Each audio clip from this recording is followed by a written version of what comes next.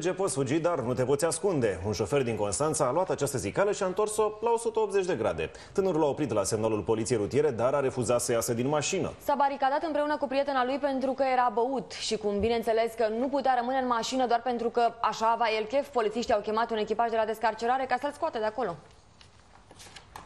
Un geam spart, o evacuare forțată, echipe de intervenție. Nu a fost însă o urgență. Aceste imagini au fost surprinse de radarul poliției. Același radar care surprinsese aceeași mașină în trafic cu aproape o oră înainte.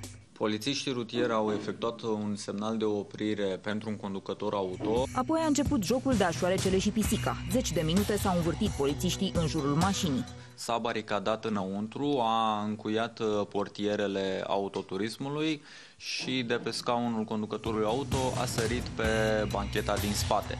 După o noapte de petrecere în club, șoferul și prietena lui nu păreau să fie deranjați de agitația de afară. S-au gândit că polițiștii vor renunța și au așteptat să curgă timpul. Greșit! Colegii noștri au solicitat intervenția unei ambulanțe și a unei uh, autospeciale pentru descarcerare.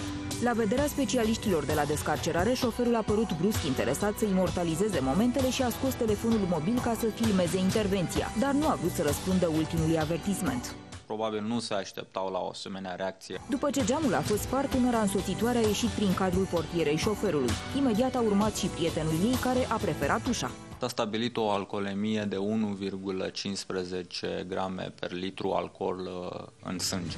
Bărbatul s-a ales cu dosar penal pentru că a condus băut. Pe lângă amendă va trebui să suporte și cheltuiala pentru geamul spart.